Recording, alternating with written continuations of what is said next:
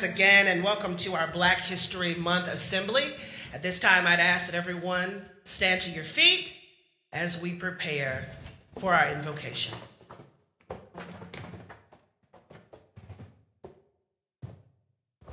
Let us pray. Eternal and all wise God, we pause first to say thank you. Lord, we thank you for your manifold grace and for your many blessings. We pray now, oh God, that as we have gathered together to celebrate Black History Month, that you would come and tabernacle with your people. We pray, oh Lord, that as we celebrate, that we would be better for the time that we have spent together, that we would go back out into the world stronger, wiser, more inspired by all that we have seen and heard in this place. Lord, for these and many of the blessings we pray. In Jesus' name, amen. You may be seated.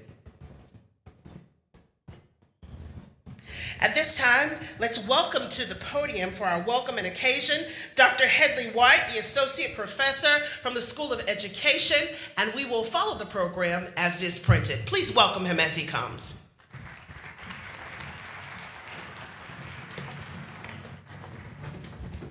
Good morning. Ladies and gentlemen, Acting President William Berry and the men of Alpha Phi Alpha distinguished guests, and cherished members of the great Bethune-Cookman University. Welcome to our Black History celebration. Today, we come together to honor and commemorate the invaluable contributions, indomitable spirit, and enduring legacy of Black individuals throughout history. As we embark on this journey of remembrance and reflection, let us first acknowledge the significance of this occasion Black History Month is not just a time to recall past struggles and triumphs. It is a beacon of hope, a testament to resilience, and a call to action. It is a time to celebrate the countless achievements and milestones that have been achieved despite the obstacles and injustices faced by Black communities. In this pivotal moment, we are reminded of the words of Martin Luther King Jr., who famously declared, The arc of the moral universe is long, but it bends towards justice. Indeed, the journey towards equality and justice has been long and arduous, but it is a journey marked by courage, perseverance, and an unwavering determination. Today, as we pay tribute to the heroes and heroines of Black history, let us also recognize the importance of continuing their legacy. Let us strive to build a future where every individual, regardless of race or background, has the opportunity to thrive and succeed. Let us work tirelessly to dismantle systematic barriers and address the injustices that continue to plague our society. As we gather here today, let us not only celebrate the achievements of the past, but also recommit ourselves to the ongoing struggle for equality, justice, and dignity for all. Let us stand in solidarity with one another, united in our shared humanity and our unwavering belief in the power of hope and resilience. In the words of Maya Angelou, we may encounter many defeats, but we must not be defeated. Together, let us forge ahead with courage and conviction, knowing that the journey towards a more just and equitable world is long, but with each step forward, we come closer to realizing the dream of freedom and equality for all. Thank you for joining us in this celebration of Black History Month. Let us honor the past, embrace the present, and shape the future together.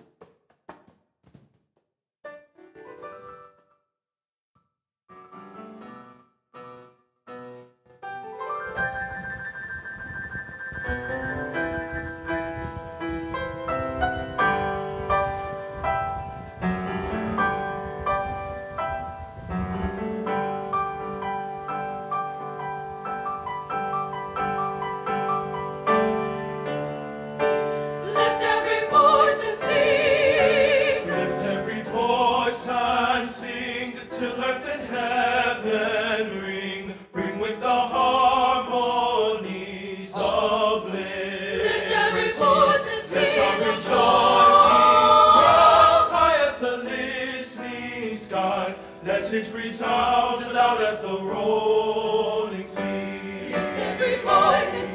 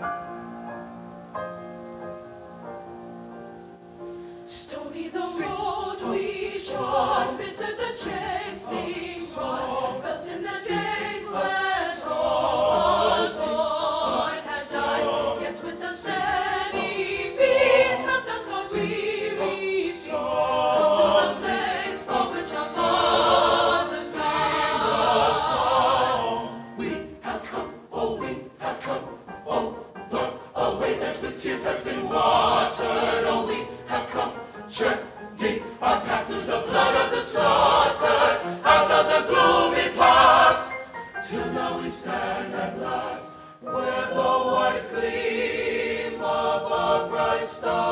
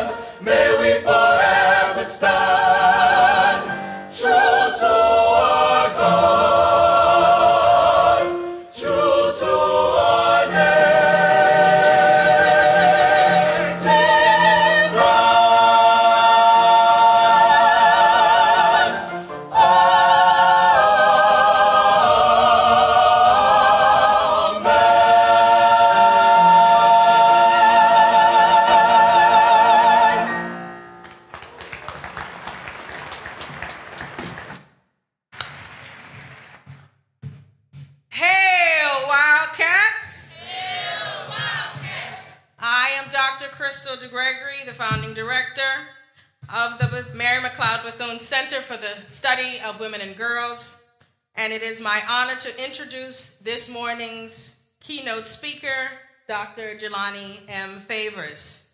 A literal son of the North Carolina A&T State University, he cut at least one or two of his literal teeth right there in the campus's grade school where he met his now lovely wife. This dedicated husband and proud father is a passionate educator, an award winning author, and the Henry E. Frye Distinguished Professor of History at North Carolina A&T State, where he also serves as the inaugural director for the Center of Excellence for Social Justice. The recipient of several major fellowships, including Humanities Writ Large Fellow and serving as the Mellon HBCU Fellow at the John Hope Franklin Humanities Institute, both at Duke University. Dr. Favors is the author of Shelter in a Time of Storm How Black Colleges Foster Generations of Leadership and Activism, and is co editor along with me and several other scholars of the forthcoming work, A Story to Tell an encyclopedia of historically black colleges and universities. Now, a little housekeeping. Uh, those of you who are here, many of you have been motivated by the competition, firstly for the Provost Cup, and secondly for that student scholarship. Any of the tickets that you got today, please do hold on to them, as there will be an announcement at 12 noon promptly tomorrow in the cafeteria of the winners. Now, following a very short video presentation message from our beloved founder, Dr. Mary McLeod Bethune, the next voice you will hear will be none other than national award winning historian, author, educator, man of Alpha Phi Alpha Fraternity Incorporated, and my brother in the struggle, Dr. Jelani Favors. Thank you.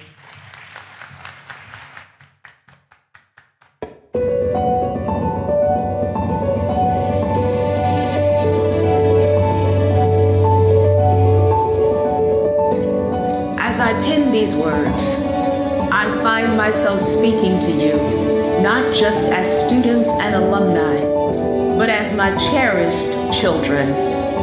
This letter, an echo of my last will and testament, is my final gift to you.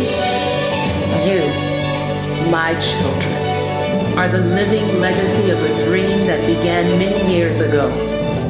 Each of you carries a spark of that dream within you, a flame nurtured by the hollowed halls of our beloved university.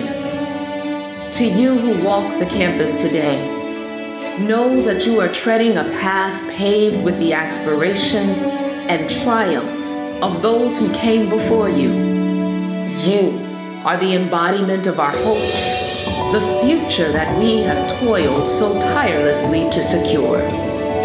And to you have ventured forth from our nurturing grounds, remember that you are forever a part of this family. Your successes and achievements are the fruits of a tree planted in fertile soil, watered with love, faith, and an unwavering belief in the power of education. Let your lives be a testament to the power of knowledge and the resilience of the human spirit. This university always be a beacon of light, guiding you through challenges and towards a future filled with promise and purpose.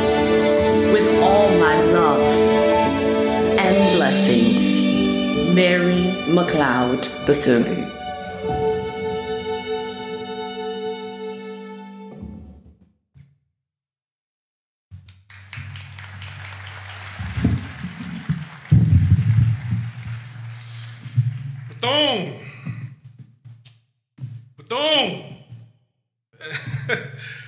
This is absolutely uh, incredible. I, I got chills going through my body, hearing the words of Dr. Mary McLeod Bethune. I didn't know I had to follow those words and her essence and her spirit. Um, but again, it is absolutely incredible um, to stand before you in this sacred space. Uh, to Dr. Barry, uh, to Dr. Gregory, and other organizers and sponsors of this event, I want to say thank you from the bottom of my heart for this invitation to be with you today. This is a dream come true for me. Uh, in my travels, in my research, I've had the honor and the opportunity to grace the campuses of many of our nation's finest HBCUs. But I've never been able to make it to the house that Bethune built until now. And what's interesting about that is that you can't study the legacy of black colleges in America and not encounter the long shadow of Dr. Mary McLeod Bethune. In every archive I went to, in every set of personal papers and memoirs I dug through to piece together Shelter in a Time of Storm, she was there. Corresponding with various college presidents that she befriended, showing up on various campuses to address students and members of the community, she was always there. Indeed, I count it a privilege and an honor to stand before you in this sacred space today and to speak with you on an occasion that she held so dear, Black History Month. So let's go, Wildcats. I pray that my words today would make her proud and uphold the legacies that she fought so hard to advance. Having said that, I've been politely and subtly informed that the only thing standing between you and lunch is me. so I promise to not hold you too long, but please allow me just a few minutes of your time to quickly dwell on the topic the greatest art is the greatest propaganda, the value of the black aesthetic, and the legacy of HBCUs. On the monitor before you, I hope that it's before you, um, is, the is a copy of the cover of my book, Shelter in a Time of Storm, How Black Colleges Fostered Generations of Leadership and Activism. If that is not on the monitor in front of you, if you would indulge me and just take out your phones and Google Shelter in a Time of Storm and examine the book cover briefly. Um, we're going to talk about that in just a second. I am taking a great risk in what I'm about to say next. And there is a chance that it may come off as one of the most anti intellectual things that I've ever said. I have been blessed and fortunate to give talks and lectures across the country since the book came out, and I've always been extremely bothered that in all the questions that I fielded concerning Shelter in a Time of Storm, no one, no one has ever asked me about the cover. It's become a running joke in my household, so much so that my wife once logged into a virtual book talk I gave and tried to sneak a question into the chat about the cover just so she could shut me up from complaining about it. So while it is true that you should not judge a book by its cover, please allow me to, to suspend that logic for a moment as I speak to you this morning. The cover of this book combines the legacies of two very powerful and influential women whose ties to the HBCU universe run deep. The painting on the cover of that book is entitled A Second Generation, and it is the work of Elizabeth Catlett, one of my favorite artists of all time, who was trained at Howard University. When I was sifting through potential artwork that could serve as the book cover, I knew that I wanted to find someone with an HBCU connection and one that adequately conveyed and captured the spirit of the book.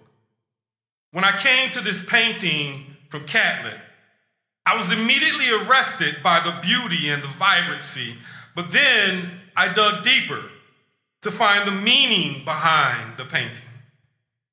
In 1992, Catlett was commissioned to paint six lithographs in honor of her friend Margaret Walker's critically acclaimed and widely celebrated 1937 poem entitled For My People.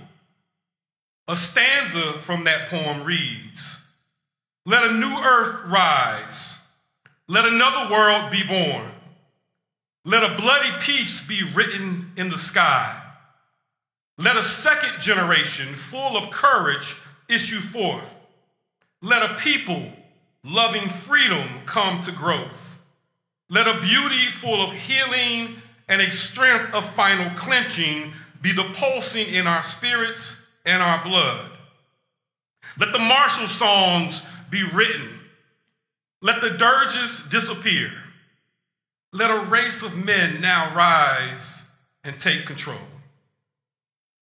Much like Mary McLeod Bethune, Margaret Walker cast a long shadow in my work, and her powerful diaries became a centerpiece in the primary sources that I consulted to write my chapter on the history of Jackson State University. So, to find out that one of my favorite artists, Elizabeth Catlett, had an enduring and long lasting friendship with a scholar, writer, and educator that I profoundly admired and got to know during my research on Jackson State was truly a moment of divine providence for me and let me know that I had indeed settled on the perfect cover for a shelter in a time of storm. Walker became a towering figure in black literature and one of the most celebrated poets during the latter years of the Harlem Renaissance. And in 1949, she accepted a teaching position at Jackson State University, a move that would greatly impact her personal and professional life. The lives of Catlett and Walker illustrate the significant impact of black colleges in the Harlem Renaissance and beyond. HBCU served as a touchstone of the black aesthetic, training countless artists, playwrights, poets, and musicians who translated the promise and pain of black America through their work. Langston Hughes honed his talents as a student at Lincoln University. Zora Neale Hurston worked out her frustrations against white supremacy in the pages of The Stylus, Howard University's newsletter for their literary club. And as a student at Dillard in New Orleans, a young and precocious Margaret Walker fell in love with poetry and creative writing that framed the joy and the sorrows of the Black experience. Of that experience, Walker would later comment Now, so far as social message is concerned, I personally believe that Black people need to preach in their work, but to preach so subtly that you don't think of it as preaching. The greatest art is the greatest propaganda. But the greatest propaganda is not necessarily the greatest art. I believe that the novelist is a social historian. By the way, Dr. DeGregory, you will be proud to know that I uncovered this powerful quote from Walker in the archives of your alma mater, Fisk University. So shout out to Fisk and all the Fiskites who may be present. Indeed, HBCU archives matter. But let's dwell on the words of Walker for a moment if we can. The greatest art is the greatest propaganda, but the greatest propaganda is not necessarily the greatest art. HBCUs have provided generations of black youth with the intellectual tools to help craft and shape the black aesthetic. Black students attending HBCUs and black youth in general have always been the avant garde of what is cool. You defined what is trending, what's in style, and what is not. The cultural pageantry that we produce within these spaces have been imitated but never duplicated. Long before the phrase black girl magic and black boy joy ever existed, Bethune Cookman carved out space where we could dream, where we could imagine, where we could create and be free in a world that sought to exploit and to extinguish our light. And that sliver of space, these shelters in a time of storm, not only served as vital sources and space for our creative energies, they also uplifted our freedom dreams. Black college administrators and faculty members like Margaret Walker understood that great art could indeed be great propaganda. For several generations, HBCU faculty perfected teaching as art, mentoring as art, nurturing as art. How else could they counter the effects of a white supremacist society that sold pseudo-scientific ideas that black youth were coons and pickaninnies and inherently criminal and destined for a life of second-class citizenship and servitude? This was the dominant mainstream narrative of American life for years. And it lived in media and nefarious and false, uh, false artistic impressions of black life in early film. And it was taught and embraced in segregated school, white schools. And perhaps most importantly of all, it shaped policy. Policy that marginalized and undercut African American ambition and enshrined in American law that black lives do not matter. But we are thankful for the shelter. I'll say it again. We are thankful for the shelter. Within this sacred space, Black college faculty, regardless of their field or academic background, work as artists preaching subtly in their work and engaging in a skillful propaganda that reversed the corrosive narrative of white supremacy and taught black youth, as Langston Hughes once boldly and brilliantly stated, that they too sing America. In 1929, Solomon Seay, a young minister who would go on to become one of Alabama's most important freedom fighters, enrolled at Alabama State University. Allow me to illustrate the power of the HBCU propaganda by sharing a portion of his story as was written in my book, Shelter in a Time of Storm. Seay was an itinerant preacher, itinerant preacher with the AME Zion Church who enrolled in colleges while he could, picking up a course or two along the way. About all that I can remember from that experience, wrote Seay of Alabama State University, is two courses that did something special to me. As was often the case, Seay's classes in, quote, rural sociology and human geography didn't scream militant coursework. Such was the magic of the HBCU propaganda. Seay's professors had the opportunity to close their doors, begin their instruction, and find ways to relate any course to the oppressive social, political, and economic conditions blacks suffered from. In doing so, they hoped that the outcome would be conscientious citizens at best, at least, freedom fighters at best. They hit the jackpot with Seay. He said, quote, both courses helped to awaken me far more than either of those teachers could imagine, recalled Seay. This was an additional motivation for my whole civil rights thrust in the years to come.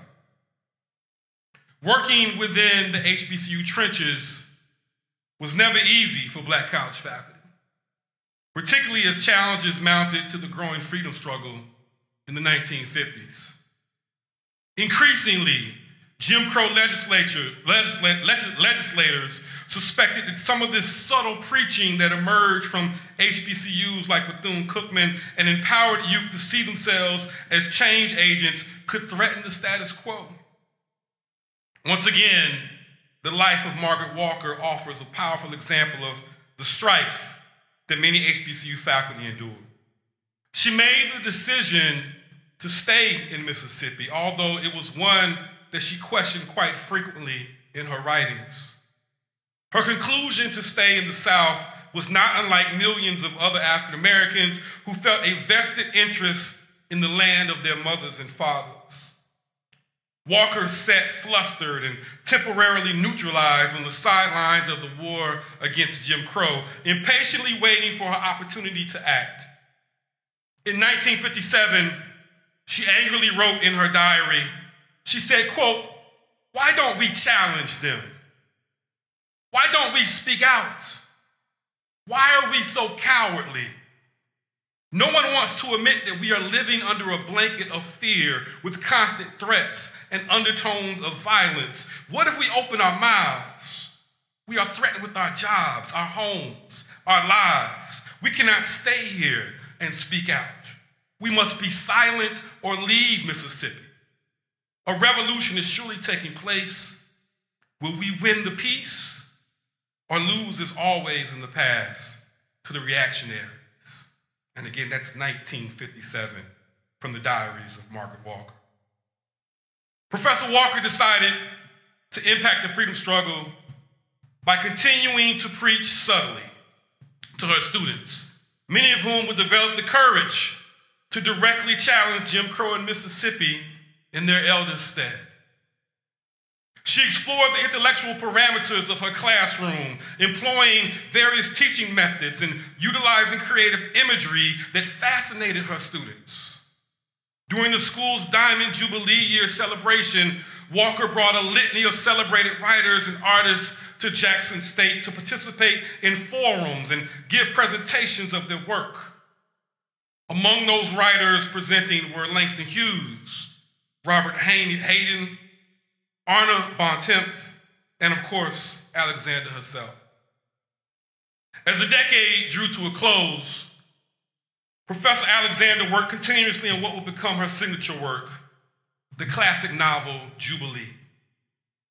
Any doubt that Walker possessed about her contributions to the movement soon dissipated with the unveiling of the Black Power movement.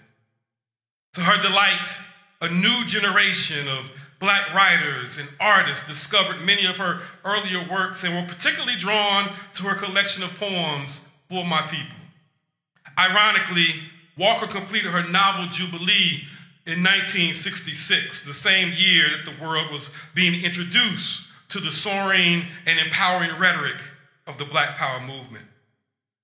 The themes of her new book immediately resonated with black radicals and artists and students seeking to tell their own stories through their own lenses.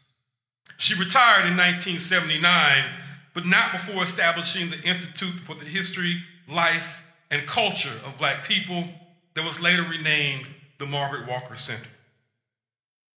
Black colleges have been a moral force for justice in our nation's history. In doing so, they've carved out a radically alternative path in higher education. HBCUs have produced artistic movements, intellectual movements, and freedom movements that have sought to cleanse the soul of this nation, and they have recognized and uplifted the humanity of others when few other institutions of higher learning did. The founders of Black History Month, the Association for the study of African American life and history have asked us to dwell on the significance and contribution of black art this February. For any aspiring artists, musicians, or creatives out there, please allow me to leave you with three main takeaways that I believe Margaret Walker would endorse. One, be honest and true to yourself in your art never been to societal pressures that would have you tell and present a false image of who you are. It has been said that 2024 is the year that we, quote, stand on business. Make sure that the business that you are standing on and the art that you are creating is an authentic reflection of your soul and not a facsimile of what you think society wants to hear or see. Dr. Bethune once said, Be calm, be steadfast, and be courageous. I would also add, Be true. Secondly, be honest and true to your ancestors and those who came before you in the application of your art. As Margaret Walker has reminded us, the greatest art is the greatest propaganda, but the greatest propaganda is not necessarily the greatest art. I don't want to get into the weeds of what all constitutes good art, but I will take the time to lift up the fact that the algorithms and the ad executives don't mind feeding us a steady stream of toxic propaganda that promotes insecurities about our sense of self and constantly has us shaming ourselves into believing that we are not enough.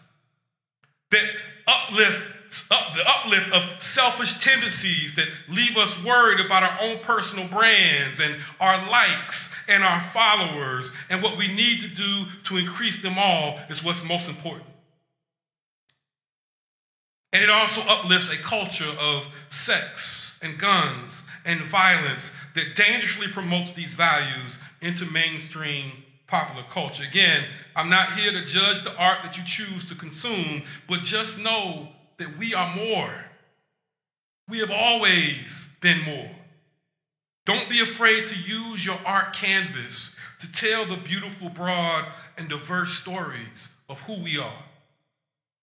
Lastly, cherish, value, and uplift the consecrated spaces that have made the creation of our art possible.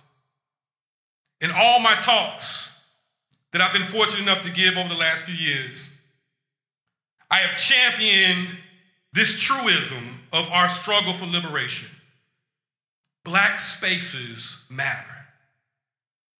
Mary McLeod Bethune knew this all too well when she first carved out the Literary and Industrial Training School for Negro Girls.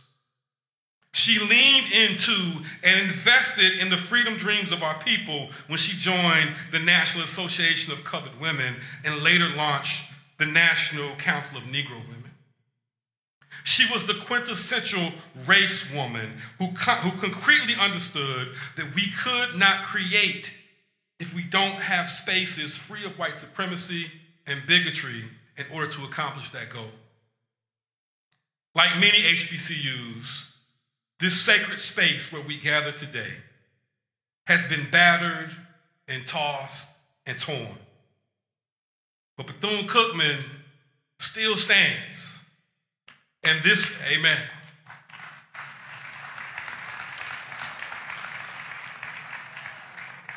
And this space where great art is achieved every day, it still matters. We should never forget. Or we should never publicly defile that legacy. We should respect that. We need to honor that.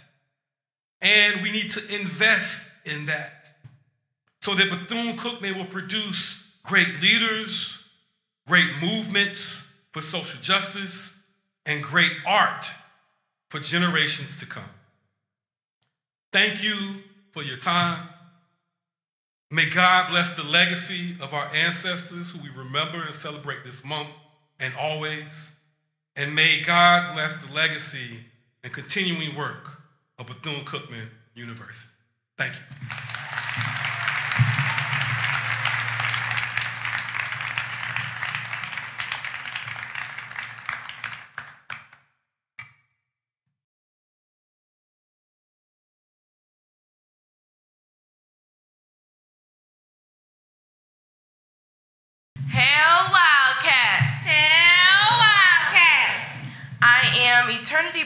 Bradshaw, the proud Vice President of Bethune Cookman University Student Government Association. And alongside me stands my soror and your Miss Bethune Cookman University, Donisha McFadden. Dr. Favors, could you please join us?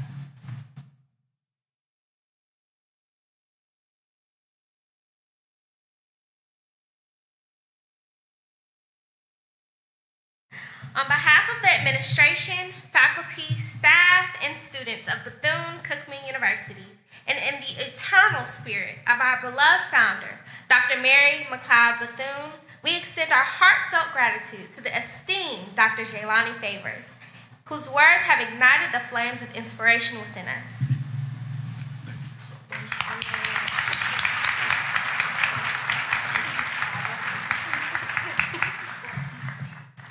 As we bask in the glow of Dr. Favor's pr- profound insights, let us remember that Bethune Cookman University is more than a 120 year old institution of higher education. It is a shelter in a time of storm where nothing is impossible. Please stand for the singing of our alma mater. Leading us will be our very own Bethune Cookman Concert Chorale.